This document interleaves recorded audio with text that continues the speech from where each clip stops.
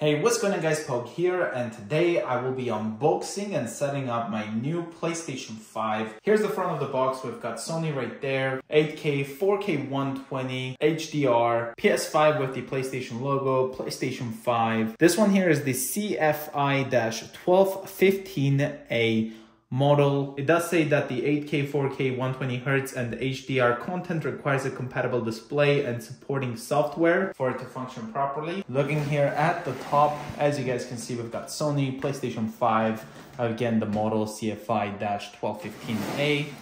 On the right side, you can see the contents.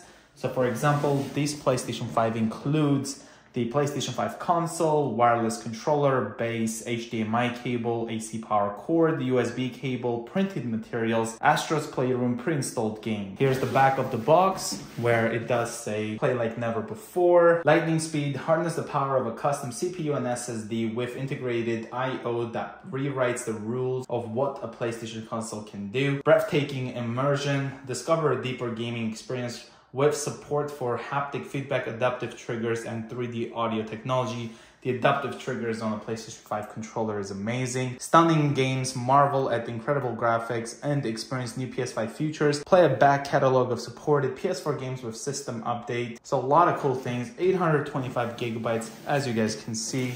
And then here we've got the PlayStation 5 system on the stand itself, as well as the DualSense controller. So without further ado, let's go ahead and cut the seal. There we go. Now we can open this up.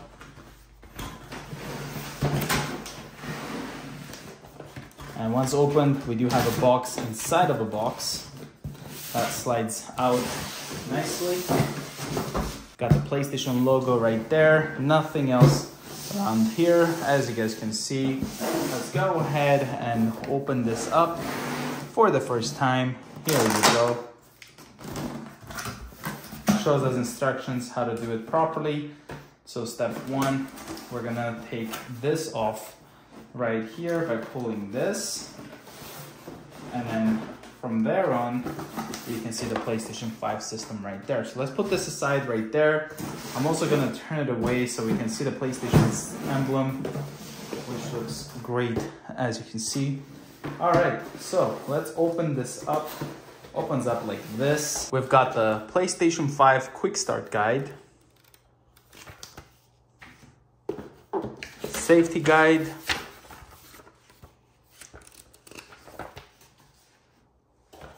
Got a power cord.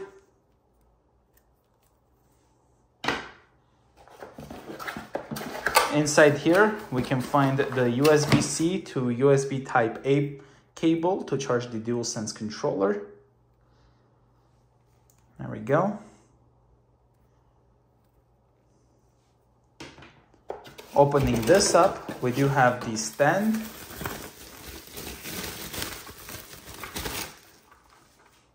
So you can turn the stand like this for vertical use and then like this for horizontal.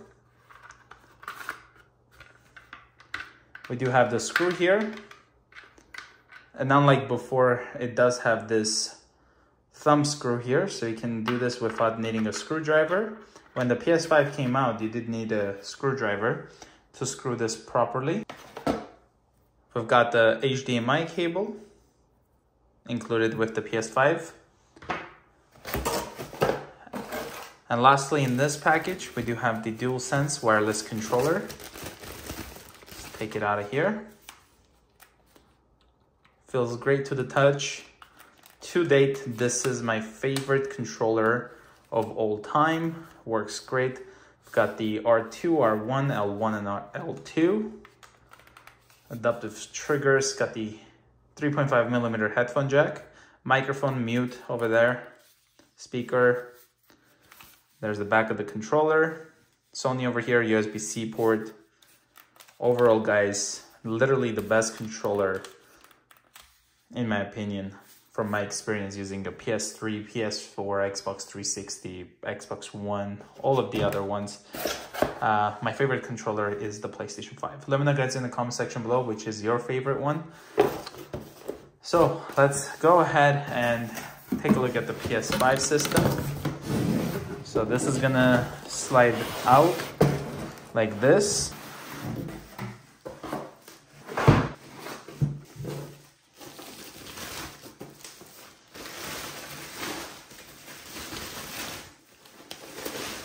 Here on the left side, we do have the PlayStation logo right there.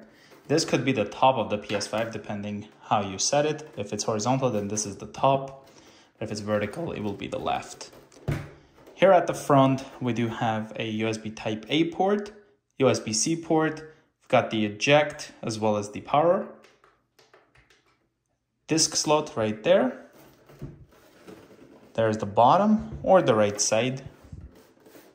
Here at the back, two USB type A ports, internet port, HDMI out port, as well as the power port. There's the top of the system. That's a Sony right there. And if you look closely, you do have the triangle, circle, X, and square nicely over here. When it comes to the stand, you need to take this off. In here, you have a slot in the stand, so you can put it in like that so that way it doesn't come out. Then we're gonna put the stand like this for vertical use, and then we're gonna screw it in like this with our fingers.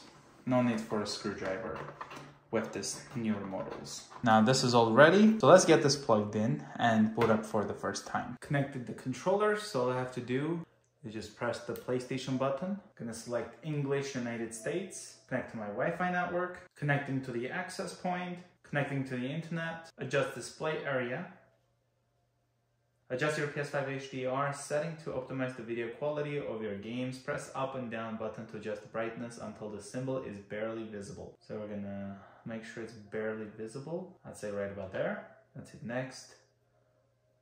Barely visible. Let's say right about there.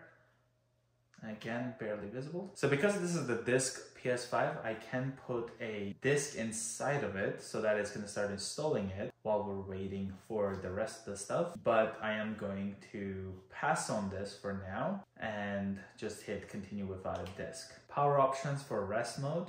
You can do optimized experience, low power use, or you can go custom. Let's go custom. Supply power to USB ports for three hours. I think that's pretty good. Stay connected to the internet while in rest mode, your PS5 can download, update files and content. Enable turning on PS5 from network. Let's leave all that on. Okay, perfect. Let's do it like that. I'm gonna confirm this. Update the system software to use network features and get the most out of your PS5. Let's hit continue. After the download, it did restart and now it's installing the update. Installing the update file. Press the play PlayStation button now. Now I'm gonna sign into my PlayStation account. Once I typed in the information, secure your account, let's hit OK. Console sharing and offline play. You already have another PS5. Console sharing and offline play enabled. Do you want to enable on this PS5? I'm not gonna enable this because I have another PS5 of course. If you already have a PS4 or another PS5 console, you can transfer your data to this PS5. Do this later. Welcome to PlayStation 5. From now on, it should have the Astro's Playroom already installed or on its way to get installed. What's this? Uh, DualSense wireless controller device software update. Let's hit update now.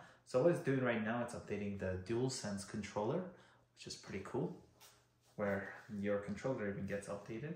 Okay, there we go. Gonna press the PlayStation button and from here on, we're gonna download, of course, GTA 5. And here's all the games that I ended up putting up for download. Gonna wait for all this to download and then I'll start gaming. So I've got Fortnite, GTA 5, and also Call of Duty Black Ops Cold War. So that's pretty much it guys for this video. If you're new to the channel, consider subscribing and I'll see you guys in the next one.